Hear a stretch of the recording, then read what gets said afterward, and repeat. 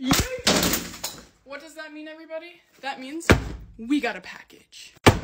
This is the third time I've gotten JoJo's Candy Shop. They're legit. They have the craziest candy, but also, oh, that's a COTD. That's that's sick. Bedazzled and everything.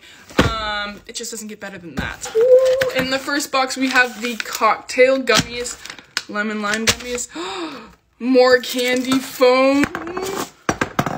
A Brain Licker. Oh my gosh, trolley dip. Look at that shimmer. That's pretty.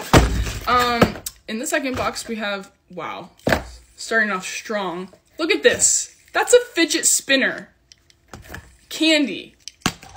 Crazy, crazy. Um, cupcake with sprinkles.